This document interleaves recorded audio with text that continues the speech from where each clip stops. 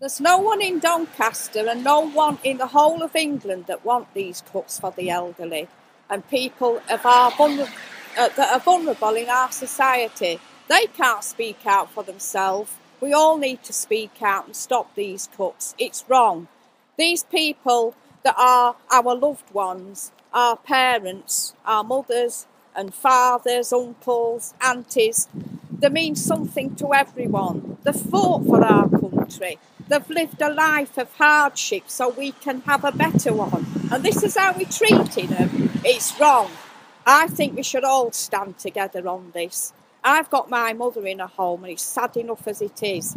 But at least I've got one consolation. There's some fantastic, heartwarming, caring staff that have given their life to this profession.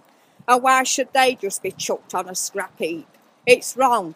I think there's something we should all do and have a say in this, not just me. I'm standing up for my mother, but I'm standing up for everybody's mother and father. And it's about time we said no and put us foot down. We've been pushed around long enough, and it's enough is enough. Find some other way to save money, but for God's sake, don't take it off poor elderly people like this. It's wrong.